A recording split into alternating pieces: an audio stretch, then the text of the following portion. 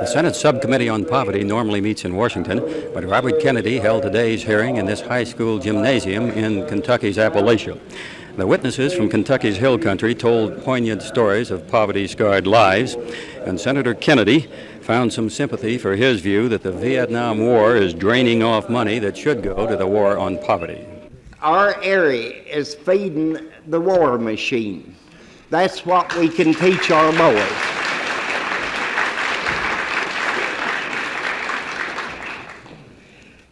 They're being taught the gentle art of killing. They can't take the genteel route of draft dodging by getting in a college because they don't have the money nor they don't qualify for the National Guard, Guard because they have no influence. This is the last time that Appalachia South, a large number of us, will ever appeal to U.S. Democrat or Republicans. I don't know what road we'll take, but it will be a different new politic or what.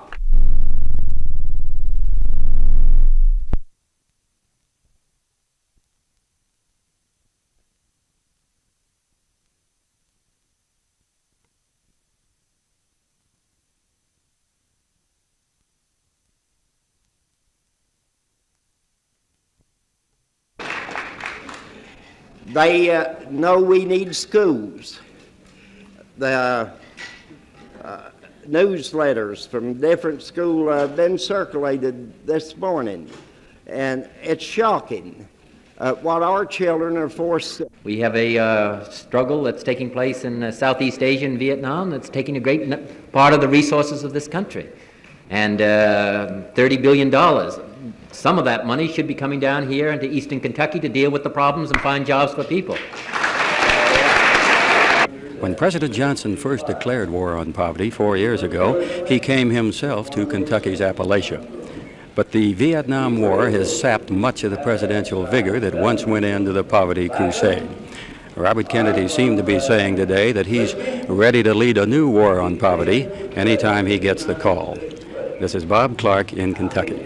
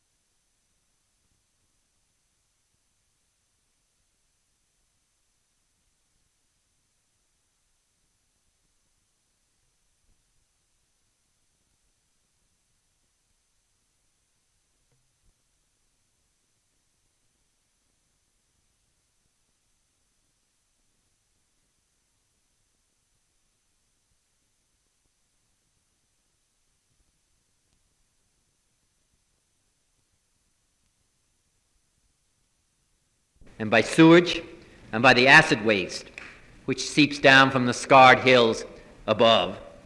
Wrecked cars dot the landscape, and the men of these hills who work at great peril to themselves and to their health and their very lives, these men, many of them who have been disabled by accident and affliction, have been left without work and without hope by the automation of an industry which no longer needed them.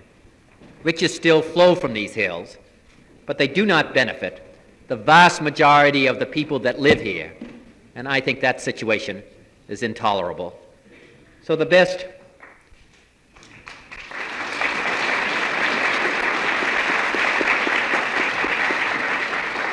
So the best of your young the best of the young men who are educated and trained are forced to leave eastern Kentucky and go off to other parts of the nation and search for work.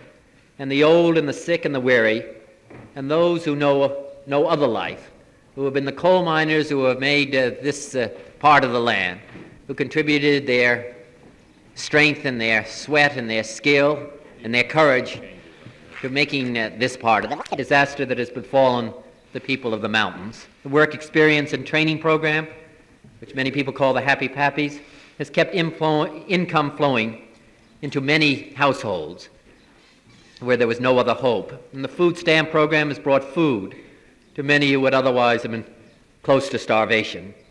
And the maternal and infant care funds provided by the Department of Health, Education, and Welfare have provided prenatal and pediatric care to many mothers for the first time. All of this is worthwhile. But there's still great hunger. Family after family still survives on beans and potatoes, on gravy and rice, on cornbread and fatback. In too many households, the food and which the food stamps buy runs out in the third or the fourth week of the month. Buying of food stamps consumes a great portion of an already meager welfare check. In Kentucky, more than half the adult men, sometimes over three quarters, have no work. We have done much, but in my judgment, we have much, much more to do in the future. This is one of the proudest regions of the nation. We must all work together Kentuckians and all Americans, to bring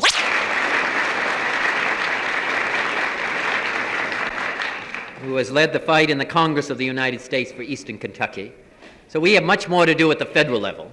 We have much more to do, I'm sure, here in the state, and I'm, I'm sure there's much more that can be done in the part of Eastern Kentucky by the people themselves. All of us working together, all of us recognizing our responsibilities, in my judgment, we can have some success. Uh, we can do much better than we've done in the past. We can develop. Here we are, a country with $800 billion, a gross national product of $800 billion. Pete, can I raise? Delighted to have you.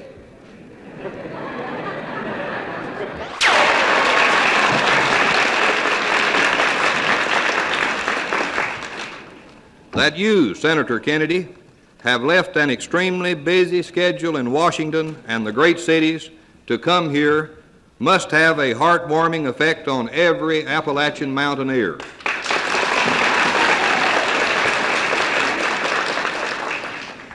It is doubtful that any land or people has contributed more to the national welfare than those within the eastern Kentucky coal field, or received less in return.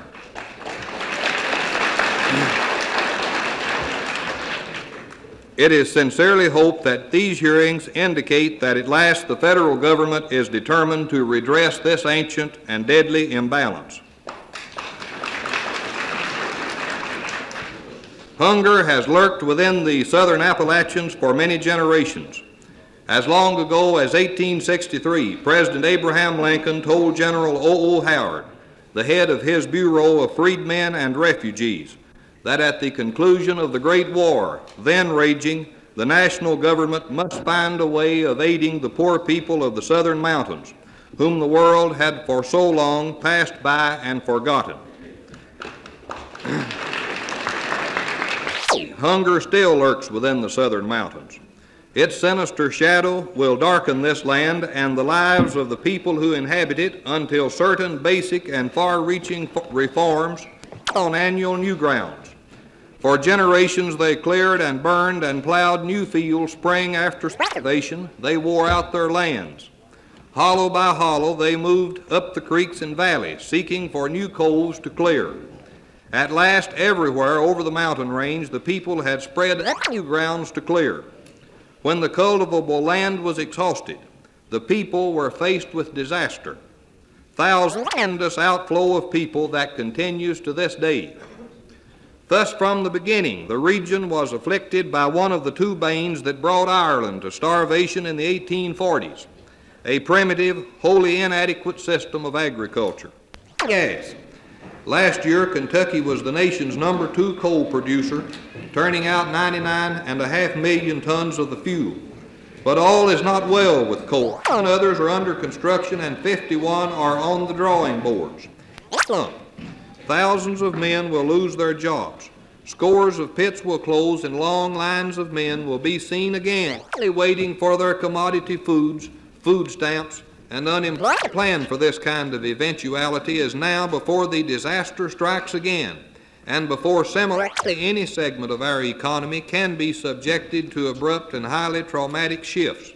Not even are wholly immune from the kind of fast-breaking developments onto the sidewalks almost overnight. Help us to save our land, and you will help us to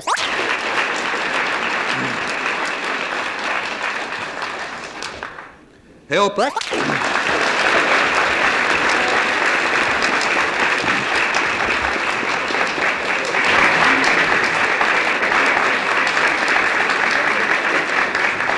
of eastern Kentucky, and from the sweat and the labor of the people of eastern Kentucky, is startling indeed, and something that uh, is, a, as I said at the beginning, is a, a matter that, that the people.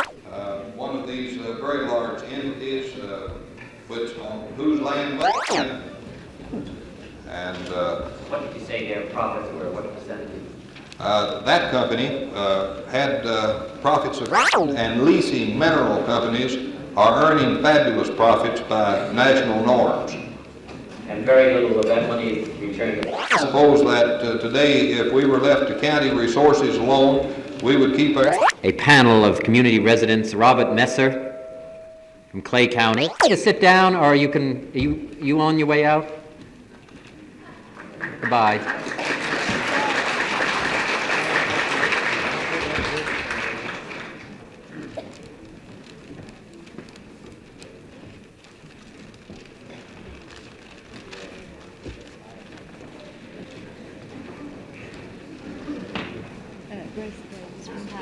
Sorry, I'm in Ward County. I'm Grace Davis, and I'm from Pike County, and I'm a welfare recipient. So I help in plants, and I've got to, and they pay into the, to whatever that, that comes back out of. So I can't, and they've got families. I can't depend on them. And they said, Mommy said, why don't you break up housekeeping and just come and stay with us? But I can't see me having to break up housekeeping after I raised all my family. And take this little boy of mine now, I've still got him to raise. So I'm not getting enough to go on. And I might could work at a light job, but I'm not very strong. Since I've raised all these kids, I'm not I'm not able to work at no hard job or nothing like that. No. Well, thank you very much, Davis. And uh, this school lunch program, I think these school children should Put it up a little higher. This school lunch program, I think it, we need more roads, we need better roads, we don't have roads fit to travel on. And the food stamps, I think we should have, they should be free to all, or, if I don't get more welfare, I think we should not have to pay twenty-eight dollars for forty dollars worth out of that one little hundred and one dollar I get.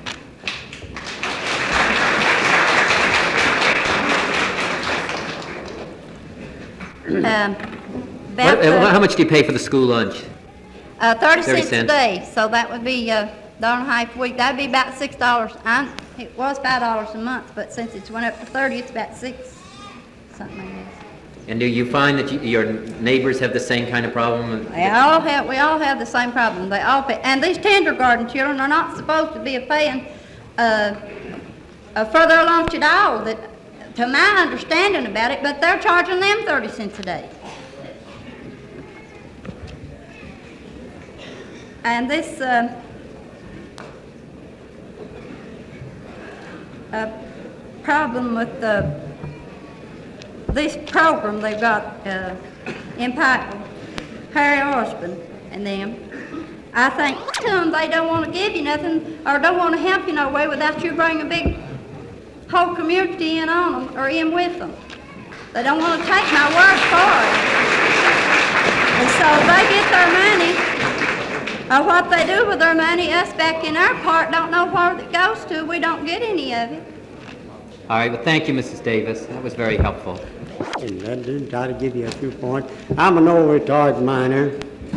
I know what this is, and done come along in 60 now. I'll give you a little sketch of it. In 60, we was a running, had a 140, 244 ton of coal a day. That's what we was running, with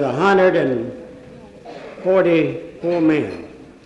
You know, I come along just in a little bit of time then.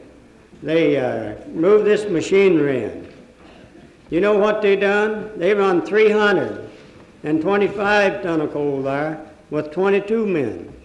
That was all out of addition, you see. Took the work all away from us. See?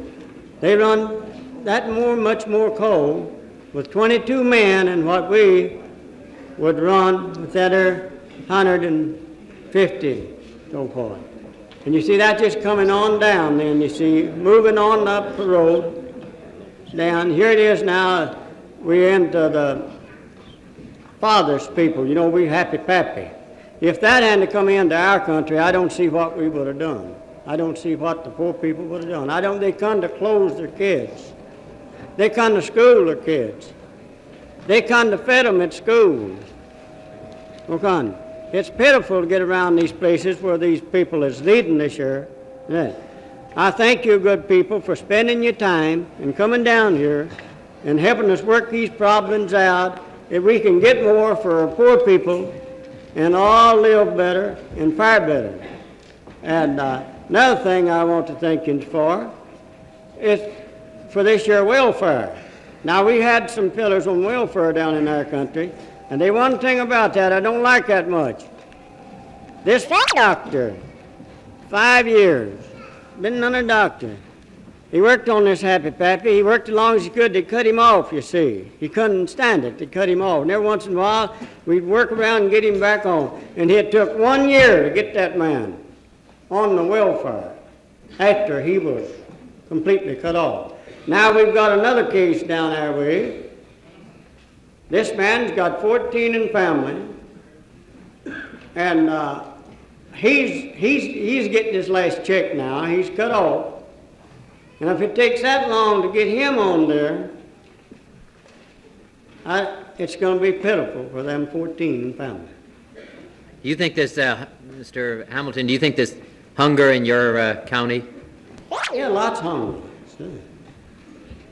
We was a place here not long ago with some kids. uh, Like, I hate to tell this, there's a girl, I think about seven or eight year old. Big snow on the ground and barefooted, no shoes to go to school. Uh, Appalachia got out and Hope got out and fixed her up some shoes and got her some food to eat so the girl could go on to school. We thank you now. I thank you for being here, and thank you folks for coming down here, but I, I'd rather all of these here government programs, we'd all work together and not work against one another and all go together. That's my opinion.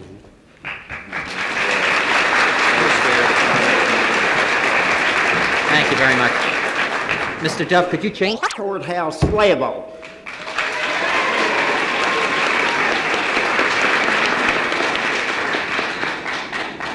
They are great ones say bootstrap operations. Help yourself before you ask government help.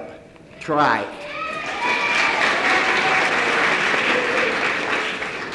There is no more reactionary groups on the face of the earth than are found in our courthouses in Appalachia.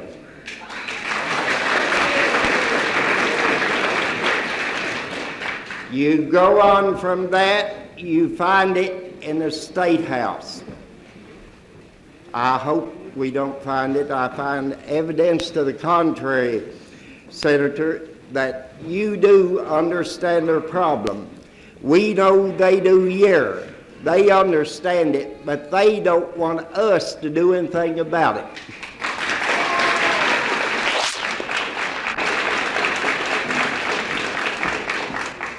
Our teachers are appointed at political whim.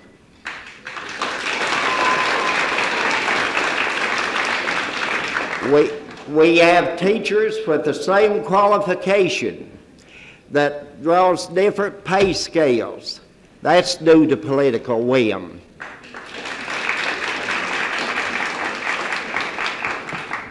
Everything we ask them for, they roads. We don't have money for uh, schools. We don't have money. What do we have money for? You take, uh, we've had uh, committee hearings like this before. Nothing's ever came of it. Our area's the same. The welfare program, with all the billions that's been poured into it, you go from house to house and find one penny's evidence of it. All these. I suggest that the people in our area that are assembled here today, with all courtesy and respect for Senator Kennedy, and in memory of his brother whom I loved, and Congressman Perkins, that we ask him to allow we, the people, to take over one meeting on poverty and really hear what bugs us, what stops us.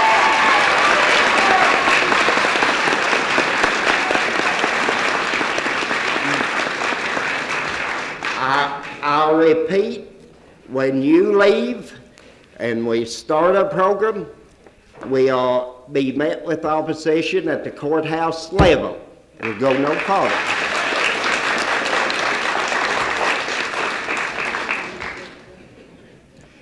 And and then again, I would suggest a panel be picked from each area represented here. You and the congressman can be our honored guest and see one poverty meeting run by the people. Let the people be one.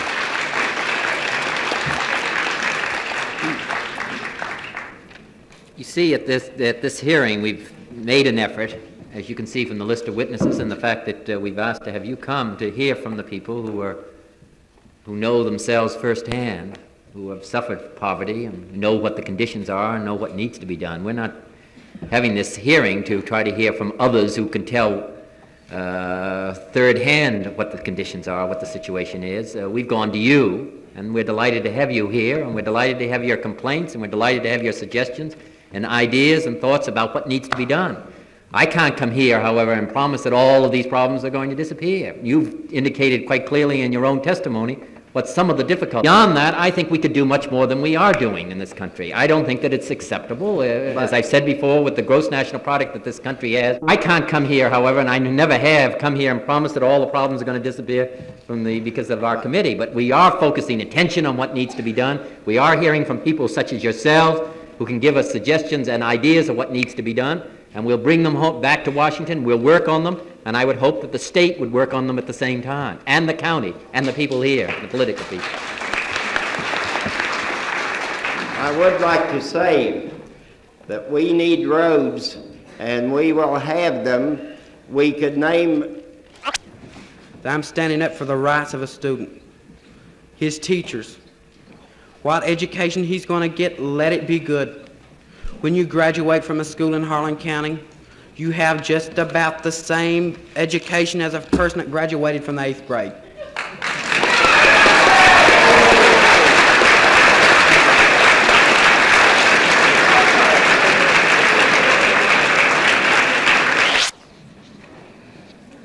As there were some statements made uh, regarding individuals and regarding the principal of the school before uh, this hearing ends, if any of those who have been mentioned and feel that they uh, want to make, uh, give any.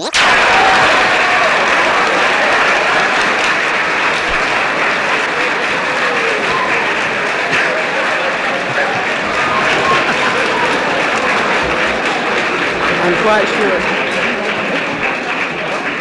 I'm quite sure if you'd put your signature on it, that um, What would you like me to do? I'm quite sure if you'd put your signature on an excuse it would be excused.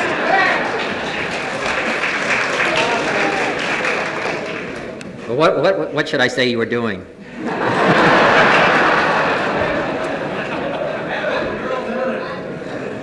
Oh, um, No, let, let me just go, uh, I'll be, I'll be glad to uh, let them know that you've been down here. Uh, And I would be glad to uh, call the school.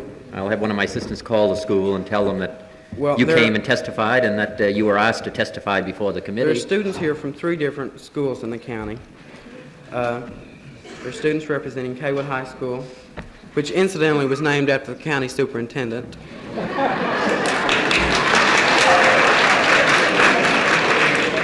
Cumberland High School and Evarts High School. So there'd be three schools. All right. If you would talk to uh, uh, Mr. Tom Johnston, who comes from uh, Kentucky, one of the outstanding figures of the whole state. If you would talk to him and give him the name of your, the schools that are involved, I would be glad to call and tell them that you were uh, down here. In the meantime, it seems uh, difficult to believe that anybody would be suspended, uh, particularly as the conditions of the Not school are... suspended, indefinitely suspended. Excuse me? Indefinitely that anybody would be indefinitely suspended for bringing the attention of uh, the school authorities, the conditions in the school, if they didn't know it themselves. And perhaps uh, the principal would reconsider. I'd be interested in finding out if the principal, I mean, obviously, this is not, uh, I'm not running the school, but I would be interested in seeing if, as you obviously take r- good pictures, and, and obviously you write well, that I would think that, uh, that uh, you'd be a student uh, that uh, would be worthwhile uh, having in the school. Uh, I, obviously, the uh, does. Uh, we're, uh, we have an education bill that's before Congress this year, uh, which amounts to more than $10 billion. Some of the causes of poverty. This is a matter that is of, your testimony is a matter of, of great One more interest to the thing committee. about the, uh, well, let me make one more statement about the, I'm a personal, uh, I personally believe in the food stamp. And I, we, we try to be diligent. When President Johnson first declared the war on poverty four years ago, he came himself to Kentucky's Appalachia. But the Vietnam War has sapped much of the presidential vigor that once went into the poverty crusade. Robert Kennedy seemed to be saying today that he's Back in forty-nine, back the school bill, uh, which I backed, but we were never able to This Senate Subcommittee on Poverty normally meets in Washington, but Robert Kennedy held today's hearing in this high school gymnasium in Kentucky's Appalachia. The witnesses from Kentucky's Hill Country told poignant stories of poverty-scarred lives. And Senator Kennedy found some sympathy for his view that the Vietnam War is draining off money that should go to the war on poverty.